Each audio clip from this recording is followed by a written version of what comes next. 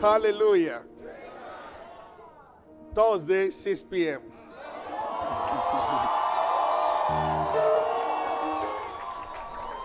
Let's read.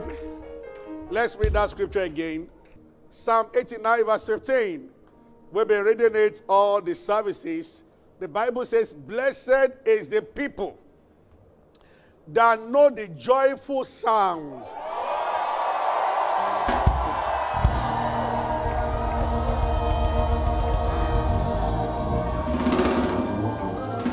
Look at a better translation.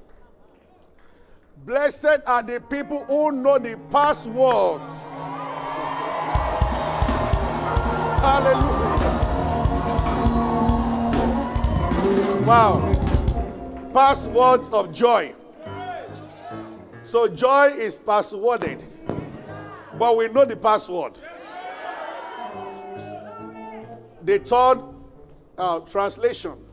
Blessed and happy are the people who know the joyful sound of the trumpet blast.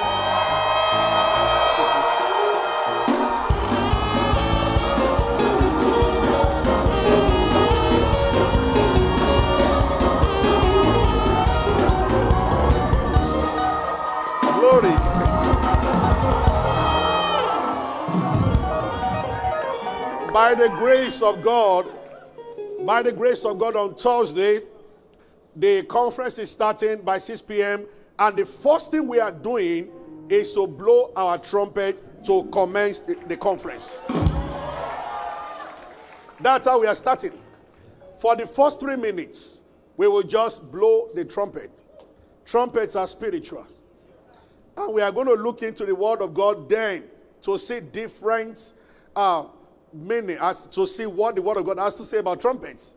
But on the 6th, on, sorry, by 6 p.m. on the 1st of September, 1st of September, 6 p.m., get ready to start this conference with a long blast. Three minutes. All of us together. Are you ready? Yes, That's why I've been saying that please wear white. White shirt, white t-shirt, white native. Not, it doesn't have to be full white, but just let there be a touch of white. So you look like an angel. As you are ready to blow the trumpet. well, it's not compulsory, but it's just going to make it look uniform. That's what we are trying to do. Hallelujah. Glory to God.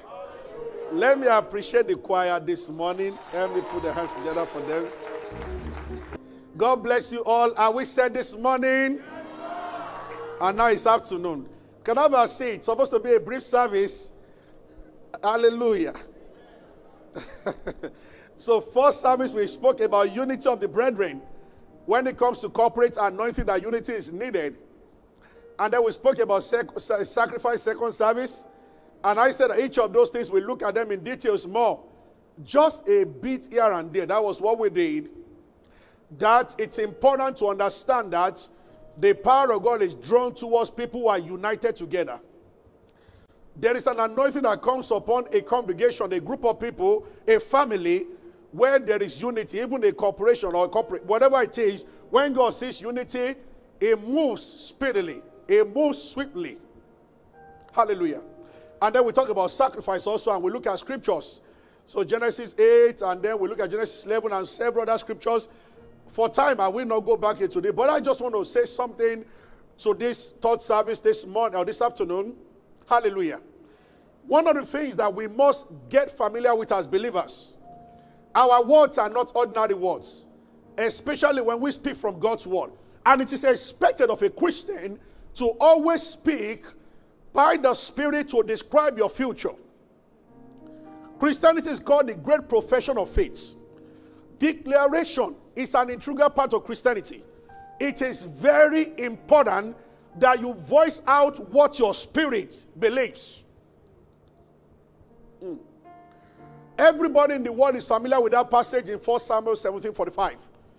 Thou comest against me with sword and spear.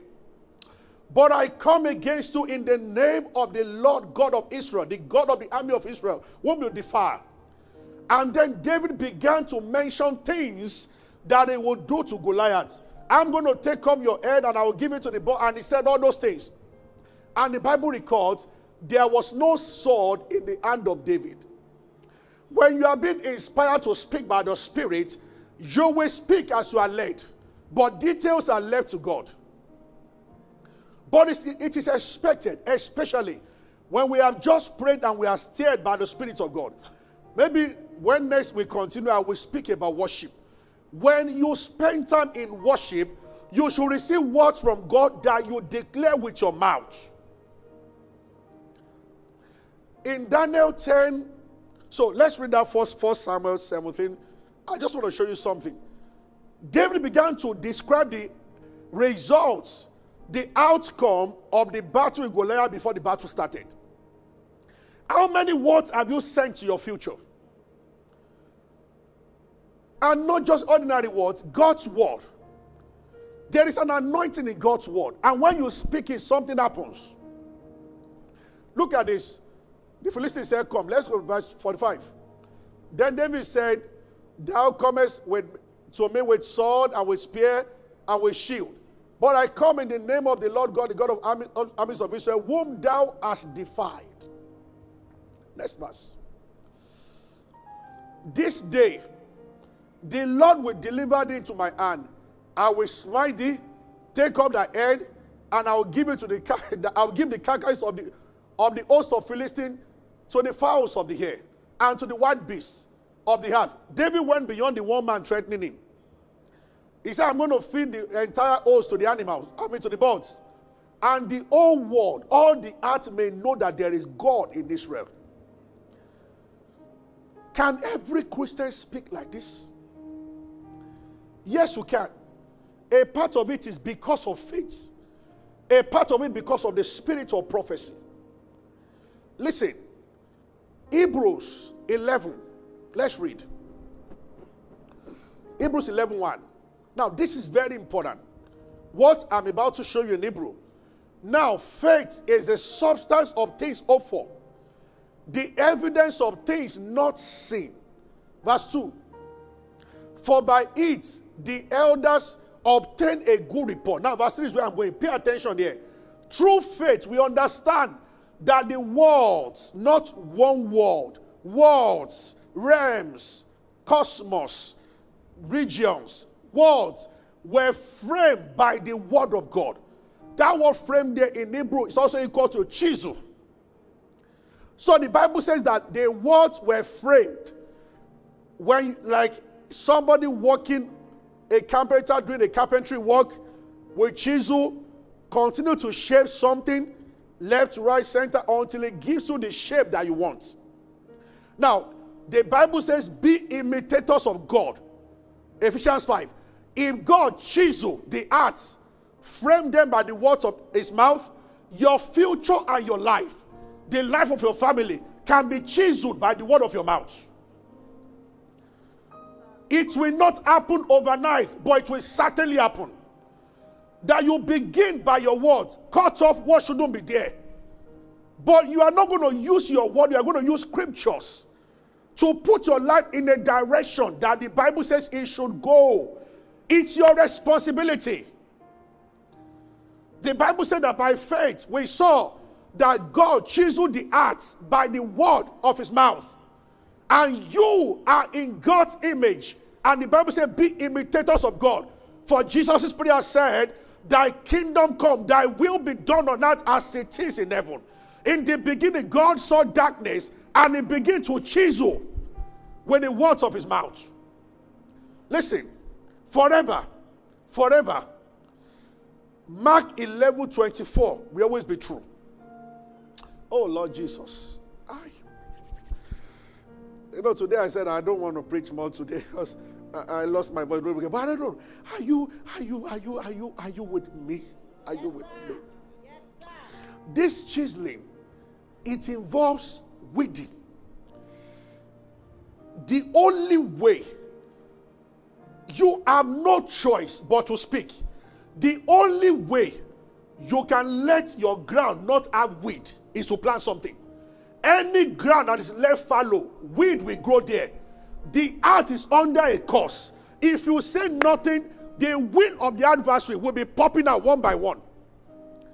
If we don't want weed, if we have a farm size of this auditorium and you don't want weed there, please plant something. If you don't plant anything, it's an automatic invitation to weed. Too many Christians are too quiet. So weeds are growing in their lives. A man, Jesus gave an illustration in Mark chapter 4. A man planted a field and he went to sleep, and then he woke up and he saw tares. And they said, An enemy has done this. The enemy will always plant tares. Are you following me? I, I want to show you something. When Daniel started saying some things, an angel showed up. Daniel 10, verse 12. Look at what the angel told, told Daniel here. Daniel 10, 12. Then said unto me, Fear not, Daniel, for from the first day that thou they said I had to understand and to chasten yourself before that was fasting, thy words were heard, and I am come for thy words. Are there words that bring angels into your life? That's what the Bible is saying there. Have you read Numbers 14 28? I am come for thy words. Numbers 14 28. And I'll begin to close. It's not supposed to be long. But let this one enter every man's spirit. A time will come. Did you have you ever noticed that there was nothing Jesus did that did not say before doing? How many times did he say, Destroy this temple and I'll build it in three days? Resurrection did not happen just because God said it should happen. Jesus also chiseled resurrection by the word of his mouth. Can I hear amen? He said it over and over again. The Son of Man is going to Jerusalem. He will be arrested there, but after three days, he kept saying that repeatedly. What is written of you that you are not saying? Is this is why every Christian has to know the Bible. What is written of you? You just think that God will just do. Believers must stop that. It belongs to another religions. Eh, where if God wants us to, no, God will not even dress for you. He has given you the word that you should do something with the word. You know, I read something one day. It's amazing how much responsibility God has given to you, and you are trying to transfer back to God. T.L. Osborn taught us many years ago. There are two prayers God will never answer, and they are the most common prayers among Christians. We pray, we ask God to do what He asks us to do. Second one, we ask God to do what He has already done. Lord, undo Satan. He has undone him. He already spoiled principalities and power. ah, yeah. Lord, save my sister. No, the word is in your mouth. Lord, help us heal the sick. Mark 16, 17. These signs that shall follow them that believe. In my name, they shall lay hands on this and they shall recover. Don't tell God to do what He asks you to do. It's irresponsibility. And these are the things that believers are praying for. Oh God, touch mommy. You go and touch mommy in the name of the Lord. He has told you to do that. Do you know this is how some people will suddenly realize that healing gift has been in them since, but they don't know. We are asking God. It's not your errand boy. Are you getting what I'm saying? Yes, Our parents used to pray. They would say, Why should God help us? Why the Bible say resist the devil? Sorry, am I sharing Bible with us? Yes, is it true that the Bible says you resist the devil? So why are you saying that, oh Lord, oh Lord rebuke this? God will just say that, I mean, ah, ah. resist the devil and he will flee. You are the one. Hi. See this scripture, this word. Oh, in Hebrews 13, the Bible says, He has said, I will neither leave thee nor forsake thee so that you may boldly say, Give me that scripture. Can you pay attention here? God's word is not for reading. Reading is the starting point. What God intends, the real reason for the Bible, is that you read, you know, then you say. If you don't say, you have not perfected the equation. So look at this Hebrews. Let your conversion be without covetousness, and be content with such things as you have. For he said, He has said, I will never leave thee nor forsake thee. He has said, Next part, so that we may boldly say, collapse all other statements in between. He has said so that we can say. The reason for what why he said what he said is so that you can say. Hallelujah. So he has said you shall not die, so that you can say, I shall not die. That in 2023, 24, 29, 38, 49, I will be there. So he said, so that you can say, not so that you can put it under your pillow.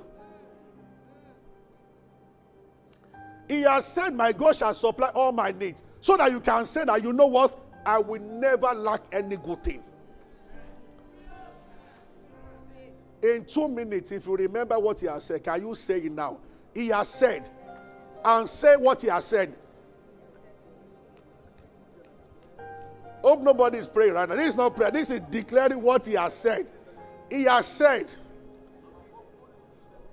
He has said, By his stripes I am healed. So I, I am boldly saying, I live in health all the days of my life. No stroke, no blood pressure, no headache, no. He has said, so I am saying. He has said, I and the children that God has given me are from signs and wonders. So I am boldly saying, my whole family is serving Jesus. He has said, so that I can say, Glory to God. Hallelujah. He has said, so that we can say, Oh, thank you, Jesus. What a blessing to know. He's so sweet to trust in Jesus. Just to take him at his word. Just to rest upon his promise. Just to know, thus said the Lord. Jesus, Jesus, how I trust you, how I prove, oh, and on. Jesus, Jesus, precious Jesus, oh, for grace to trust you. Hallelujah. He has said so that we can say. What are you saying?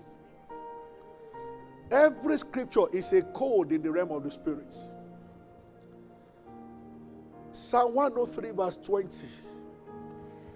The Bible says, Praise him, you his angels, who excel in strength, that do his commandment, hearkening to the voice of his words. This is what I want to stop today. When you stand quietly at the center of your room or your office or whatever, and from your spirit you declare scripture, you are speaking a code in the realm of the spirit. Angels respond. Now, this is the interesting. The Bible said that they hearken to the voice of His word. They hearken to the voice of His word. I love King James. That is is a small letter. King James always use capital letter for God small letter for man. The word, they hearken to the voice of his words. Now, angels respond even when it is a man that is speaking the word.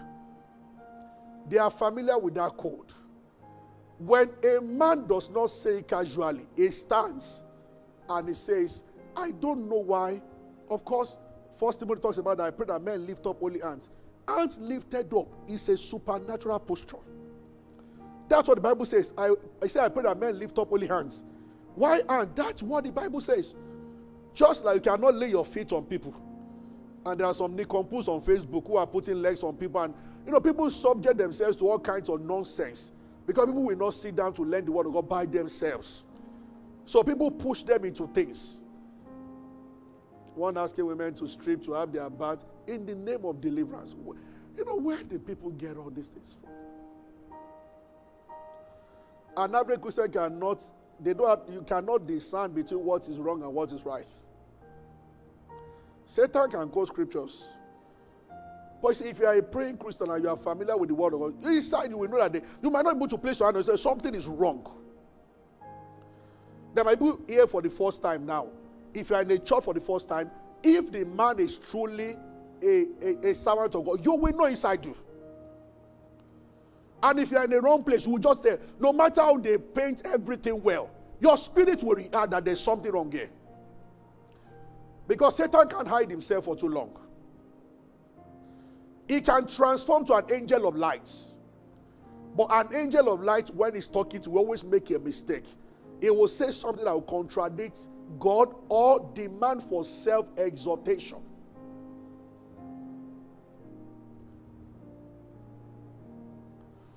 Yeah, yeah. You see, this is why all those who are fooled by dreams. I love somebody funny somebody wrote on Facebook. he said Lazarus died for three days. He came back, he did not come with a book of how he saw hell or heaven. So people died for 30 minutes, and they know 50 people they saw in hell. There was one that released a book like I said I saw late Pastor Odukoya in hell. And people bought that book. I was in UI, the University of Ibadan. I looked at the book, I, I, I told Elena, lady, I said, why, why do you believe people believe stupid things? And he said that the angel said that she was wearing miniskirt. That was why. I said, number one, that woman never wore miniskirt once. She was in IVCU as a student. Pastor Bimbo, my wife was part of our protocol. They she believed that your skirt must almost touch your shoe. She never. Says so another one, number that angel made a mistake. Wrong accusation. No, people believe all sorts. Somebody said, well, she was sleeping at the back of a church. When I told that one, I said, she saw, saw rapture. Everybody was going, and the whole church became so bad that everybody was going, just when the woman was going on, then she started coming down. I said, because she had palming on her head. So, in other words, God first of all made a mistake. She was going up. God just saw the palm. Hey, palming! Go back! You, you, you see? And that day, everybody in the church became sober. Ah. Hey.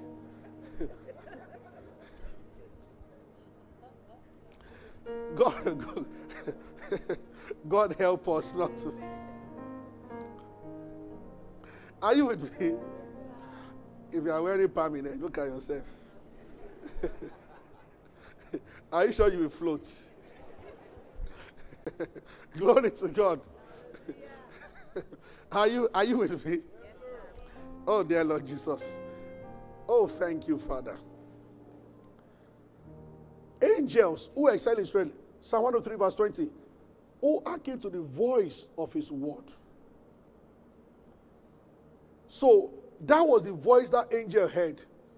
Daniel was quoting Ezekiel, Jeremiah, sorry, 70 years in captivity. As Daniel began to mention, he started praying for Daniel chapter 9. And in chapter 9, he mentioned what prophet Jeremiah said about the return of the captives.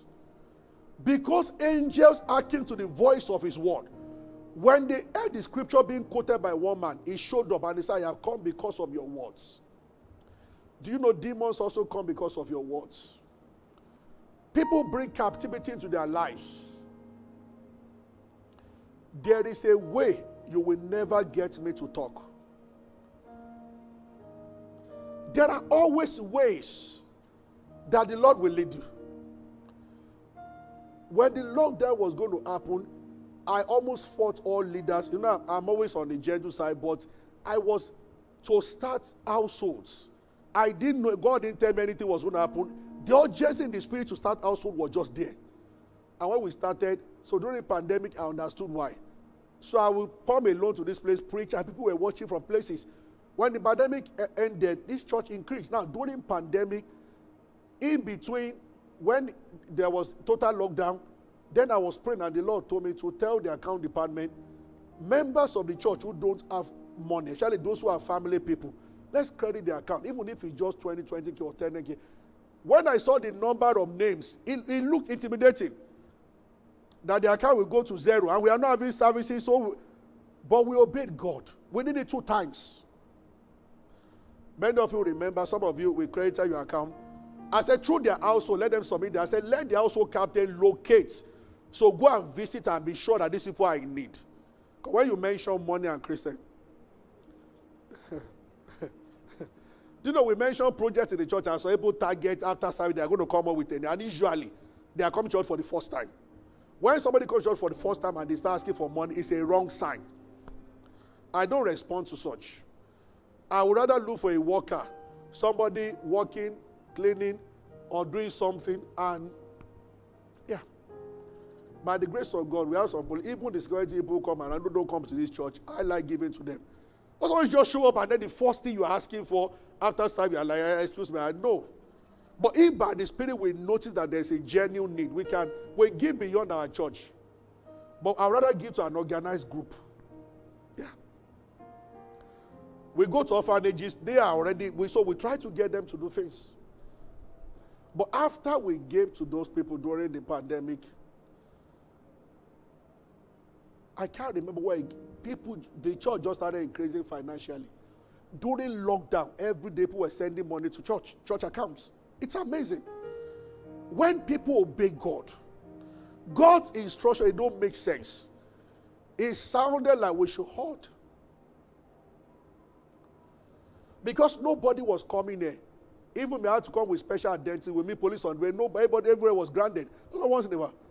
So they even said, okay, maybe for now we should stop paying all the stuff. I reviewed and I said, no, continue.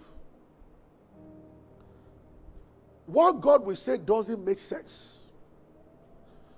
But at the end, you will see tremendous results in obeying the Lord. But this morning, I'm leaving you with this. This is why you must be serious with Bible study so that you can know what He has said, that you may boldly say. What are I said about what I said about your marriage, about your health, about your life. Look, a time will come in your life. If you are walking from here to your car, you would have said two or three things. Place your life under the word of God. Fill your atmosphere with the word of God. Walk around your room and speak. They are not empty words. John 6 63. Jesus said, The words I speak to, they are spirit and they are life. They don't die. Don't wait. You are not married now. You can name your children now. Hiya. Yeah.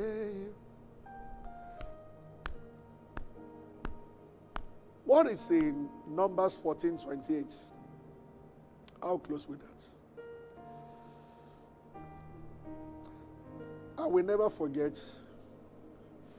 Thank God he came for Kenneth taking a man of faith himself. His wife had goiter or whatever she had, and it was a serious issue. He was going about healing people, but that thing, it happens. See, you don't look at the life of a healing. So now say, okay, uh, say, see, he's sick. Elisha was sick and died of the sickness. They carried a soldier, threw him inside the tomb, and that one came back to life.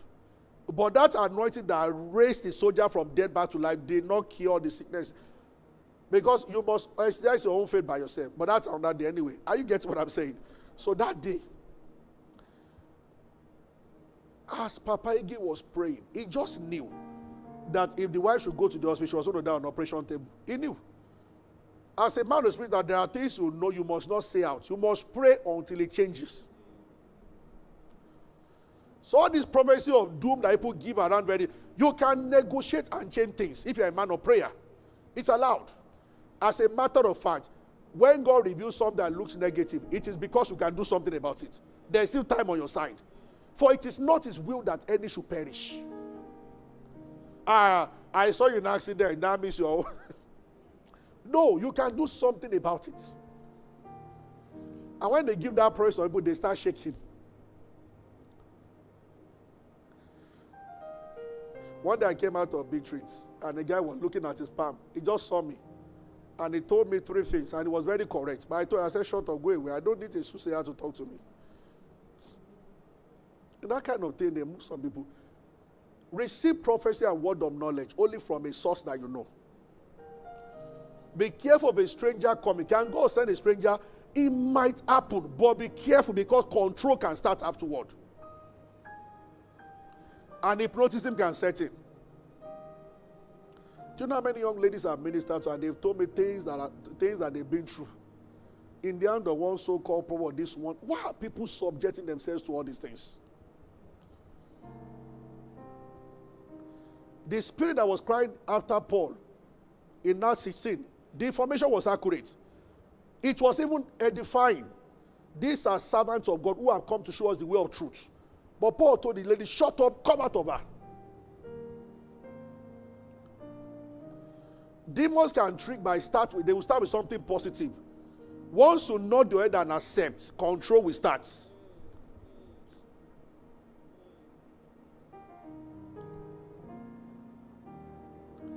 Hallelujah. Hallelujah. Hallelujah.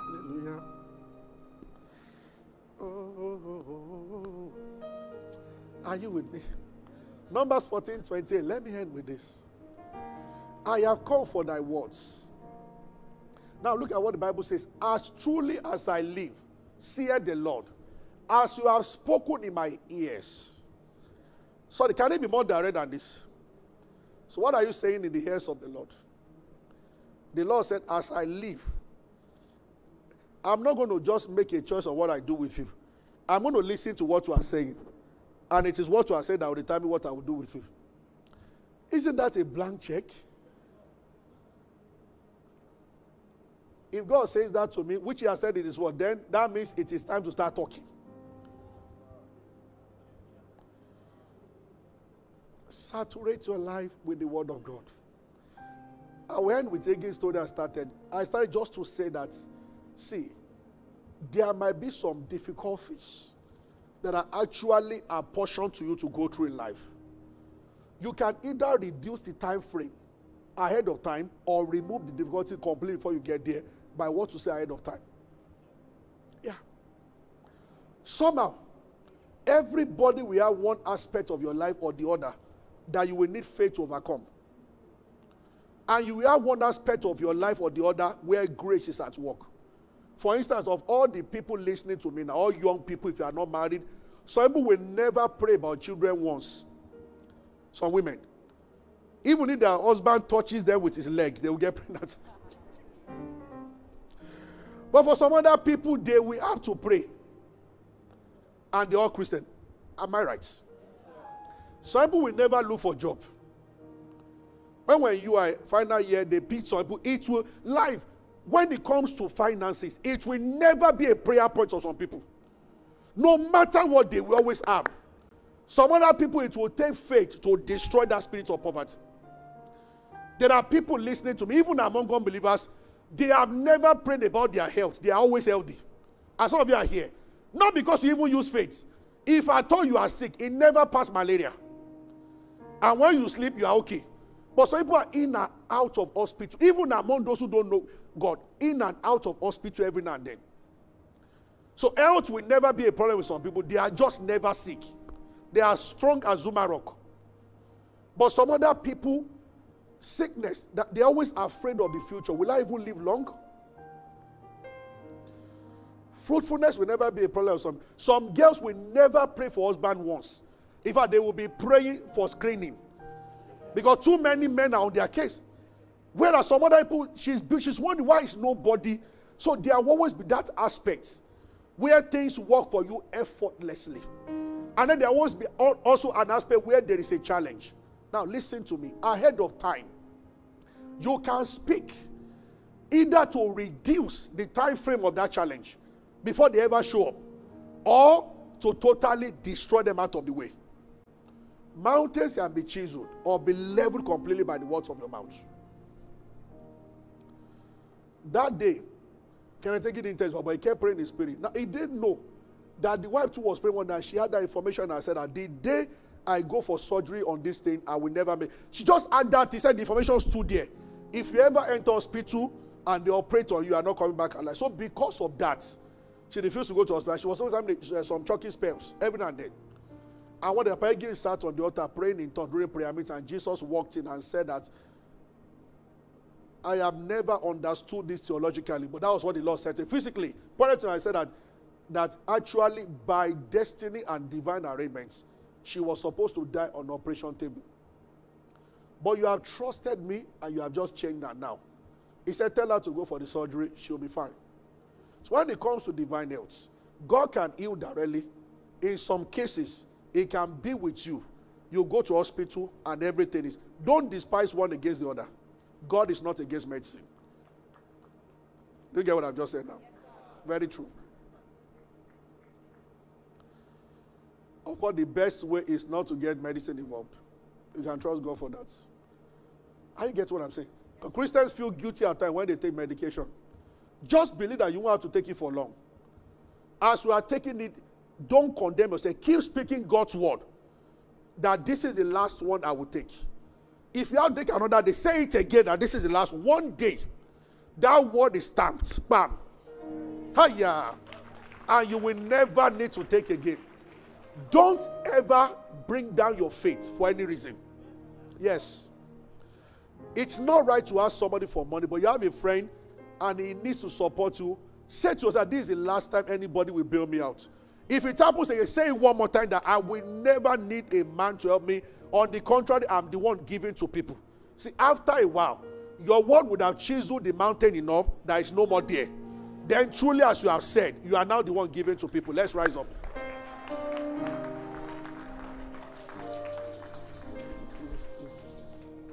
Hallelujah. Hello, thank you for watching us. We don't want this to end without giving you an opportunity to make Jesus Christ the Lord of your life.